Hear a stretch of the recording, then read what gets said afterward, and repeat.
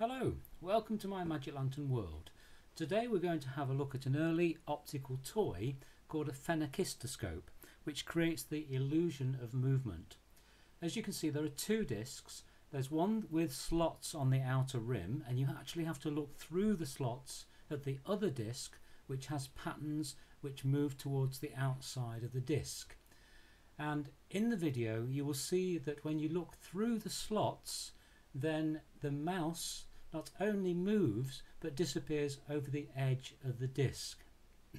this only works when you look through the slot which creates a shutter effect.